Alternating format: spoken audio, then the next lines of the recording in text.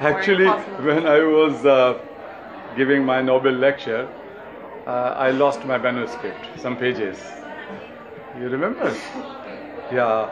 So I was just looking here and there, and I, then I laughed.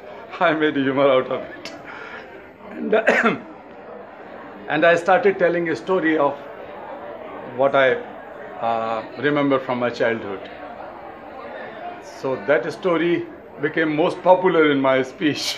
and then, in the meantime, uh, those pages which were missing were brought to my table.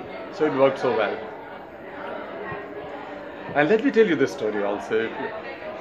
There was, um, uh, this story goes like that, that once a very heavy fire broken out in the forest. Everybody was running uh, away from there, including the lion, the king of uh, the forest. Suddenly he saw that a very tiny bird was rushing straight. She was rushing straight towards the fire. And he asked her that what are you doing? She replied that I am going to extinguish this fire. And uh, he looked at her and, uh, and laughed.